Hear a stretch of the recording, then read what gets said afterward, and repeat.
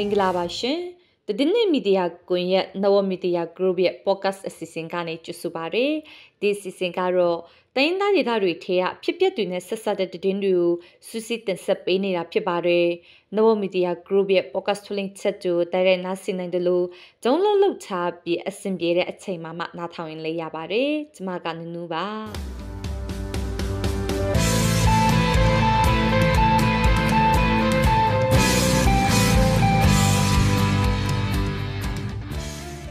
ဒီနေ့မှတင်ဆက်ပေးမယ့်သတင်းတွေကတော့ဒီမိုးဆူမျိုးနေချီယာစစ်ပေးရှောင်းစခန်း၄ခုမှာစံပြက်လက်နေပါတယ်။ပဲခူးတိုင်းကြောက်ကြီးမြို့နယ်မှာတော့လေးလာတာကာလအတွင်းစစ်ကောင်စီတပ်ရဲ့လူအခွင့်အရေးချိုးဖောက်မှုတွေကြောင့်ဒေတာခန်17ယောက်သေဆုံးပြီး73ယောက်ထိခိုက်ဒဏ်ရာရရှိခဲ့ပါတယ်။တည်င်းပေးဖို့ချက်တွေချင်းမှာတော့ ရစဝမှုတွေနဲ့ဆက်ဆက်တဲ့စီးပွားရေးလုပ်ငန်းတွေမှာ KNU ခေါင်းဆောင်တွေပါဝင်ပတ်သက်မှုရှိနေတဲ့ဆိုတဲ့ပြောဆိုဆွဆွဲမှုတွေကိုစုံစမ်းစစ်ဆေးနေပြီလို့ကရင်မျိုးသားအစည်းအရုံး KNU ကပြောဆိုလိုက်ပါတယ်။အခုတော့သတင်းတွေကိုကျမနဲ့အတူကိုဆိုပြတင်ဆက်ပေးသွားမှာပါ။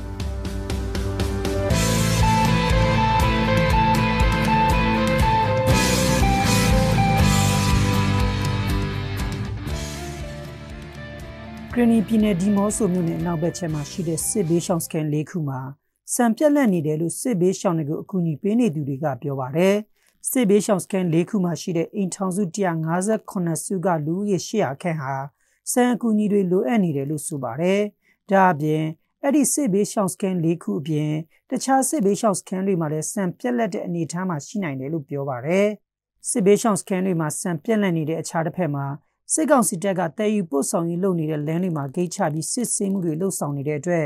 စစ်ဘေးရှောင်တွေအတွက်ရိတ်ခါတည်ယူပို့ဆောင်ရမှာခက်ခဲမှုတွေရှိတယ်လို့ဆိုပါတယ်။ပဲခူးတိုင်းကြောက်ကြီးမြို့နယ်မှာလေးလာတာကာလအတွင်းစစ်တပ်ရဲ့လူအခွင့်အရေးချိုးဖောက်မှုတွေကြောင့်ပြည်သူ17ယောက်တေဆုံးခဲ့ပြီး73ယောက်ထိခိုက်ဒဏ်ရာရရှိခဲ့တယ်လို့ကရင်အရေးပေါ်ကူညီကေစီရေးကော်မတီကပြောပါတယ်။ ကြောက်ကြီးမြို့နယ်ချင်းမှာ2023ခုနှစ်မေလကနေဩဂုလ15ရက်နေ့အထိစစ်ကောင်စီတပ်ရဲ့လက်နက်ကြီးပစ်ခတ်မှုလေရင်နဲ့ဘုံကျစ်တိုက်ခိုက်မှုကြောင့်ပြည်သူ6ယောက်တေဆုံးခဲ့ရတယ်လို့နှစ်ယောက်ကဖမ်းဆီးတပ်ဖြတ်ခံရတာ၃ယောက်ကတော့အရှင်လလမီးရှုအသက်ခံရတာလို့ကရင်အရေးပေါ်ကူညီကေစီရဲ့ကော်မတီကဩဂုတ်လ16ရက်နေ့ကထုတ်ပြန်ပြောဆိုလိုက်တာဖြစ်ပါတယ်။လက်နက်ကြီးပစ်ခတ်ကြ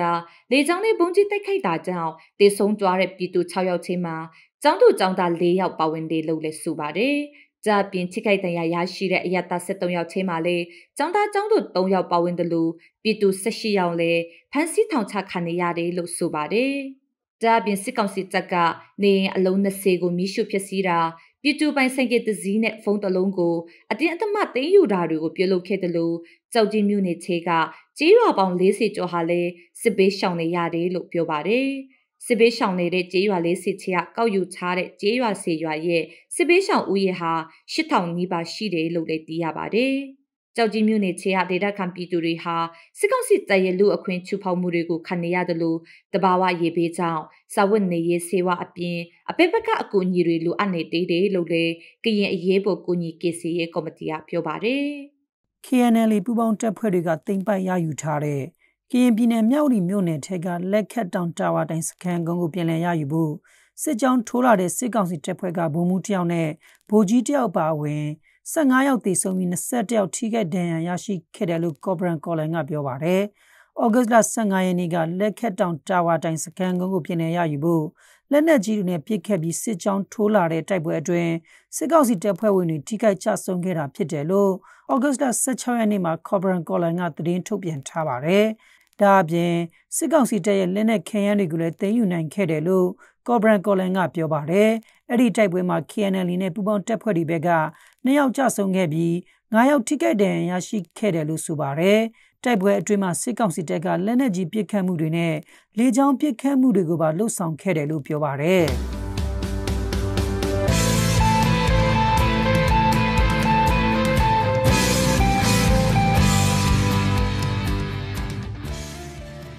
အခုတော့တည်င်းပေးဖို့ချက်ကိုကြားကြရမှာပါရစဝဲမှုတွေနဲ့ဆက်ဆက်တဲ့စီးပွားရေးလုပ်ငန်းတွေမှာကင်ယူခေါင်းဆောင်တွေပါဝင်ပတ်သက်မှုရှိနေတဲ့ဆိုတဲ့ပြောဆိုဆွဆွဲမှုတွေကိုစုံစမ်းစစ်ဆေးဖို့လွတ်လပ်ပဲမလိုက်တဲ့စုံစမ်းစစ်ဆေးရေးအဖွဲ့ကိုဖွဲ့စည်းထားပေမဲ့လေအခုချိန်ထိအပိသက်ကောက်ချက်ချနိုင်တဲ့အခြေအနေထိမရောက်ရှိသေးဘူးလို့ကရင်အမျိုးသားအစည်းအရုံး KNU ကပြောဆိုလိုက်ပါတယ်။တည်တဲ့အပြည့်စုံကိုတော့ကိုစိုးပူရတင်ဆက်ထားပါတယ်။ကရင်မျိုးသားစီယုံ KNU ဥက္ကဋ္ဌဘဒုစောကွဲထူဝင်းက ဩဂုတ်လ10ရက်နေ့ကပြုလုပ်တဲ့သတင်းစာရှင်းလင်းပွဲမှာပြောဆိုလိုက်တာဖြစ်ပါတယ်။ကျွန်တော်တို့ KNU ရဲ့ဒုဥက္ကဋ္ဌကာကွယ်ရေးဌာနတောင်ကလည်းဖြစ်တယ်လို့ဆော့ဆွေးရနဲ့ဥဆောင်ပြီးတော့ခရိုင်မှာကိုယ်စားလှယ်ပြီးတော့တတိကျွမ်းကျင်တဲ့ပညာရှင်တွေဘဲမလိုက်တဲ့အဖွဲ့နော်အဖွဲ့ဝင်တွေပါလာဖို့အတွက်ကျွန်တော်ဖွဲ့စည်းခဲ့ပါတယ်ကျွန်တော်တို့ဒီလိုဆောင်ရွက်တဲ့နေရာမှာအခုကခုနကပြောတင်ပြသလိုပဲအချိန်ကာလကလည်းနည်းတယ်တူတောင်းတဲ့အချိန်မှာ ဒီအဖွဲ့စည်းကိုဖွဲ့စည်းပြီးတော့အဖွဲ့စည်းကနေစက်တွေဆောင်ရွက်မှုတော့လုပ်နေပါပြီဆိုတဲ့သဘောကကျွန်တော်တို့နောက်ဆုံးကောက်ချက်ချနိုင်တဲ့အထိအဆင့်အထိတော့ကျွန်တော်မရရှိသေးဘူးလို့ပြောလို့ရပါတယ် KNU ရဲ့စုံစမ်းစစ်ဆေးရေးအဖွဲ့မှာအဖွဲ့ဝင်၁၆ပါဝင်ပြီး KNU ဒုဥက္ကဋ္ဌအပြင်ခရိုင်ခုနှစ်ခုကကိုယ်စားလှယ်တယောက်စီနဲ့တက်သည့်ပညာရှင်တွေပါဝင်တယ်လို့ KNU ကဆိုပါတယ်။ KNU အထွေထွေအတွင်းမှုပဒိုစောတာတို့မူက စုံစမ်းစစ်ဆေးရေးအဖွဲ့ကလှုပ်ဆောင်ရမယ့်လုပ်ငန်းစဉ်နဲ့ပတ်သက်ပြီးအခုလိုပြောပါတယ်။ဒီအဖွဲ့ရဲ့တာဝန်တွေကတော့ဒီ KNU ခေါင်းဆောင်တွေကဒုချိုက်လုပ်ငန်းလုပ်ကင်နေတဲ့တရုတ်မြို့သစ်စီမံကိန်းနဲ့ပတ်သက်ခြင်းရှိမရှိကိုစုံစမ်းမှုဖြစ်တယ်။နောက်ပြီးတော့ဒီကောင်းဆောင်တွေကနေပြီးတော့ KNU ရဲ့စီမင်းစည်းကမ်းတွေချိုးဖောက်မှုရှိမရှိဆိုတာကိုစစ်ဆေးဖို့ဖြစ်တယ်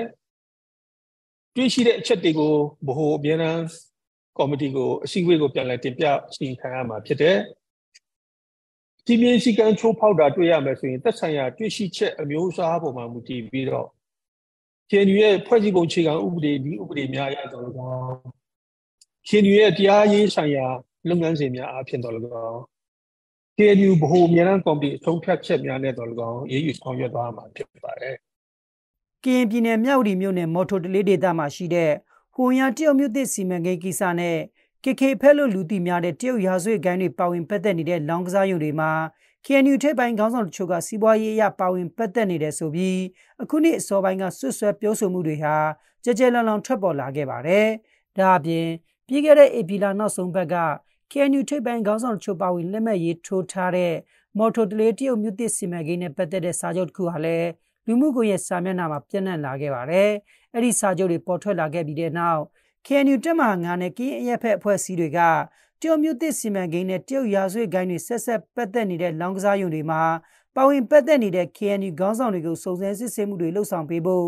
KNU ဘိုကိုစာဖို့တောင်းဆိုခဲ့ပြီးတဲ့နောက်ပိုင်းမှာအခုလိုစုံစမ်းစစ်ဆေးမှုတွေလှုပ်ဆောင်လာခဲ့တာဖြစ်ပါတယ်။